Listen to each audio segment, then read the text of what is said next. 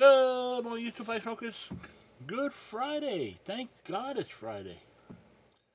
Make only agreements you can keep.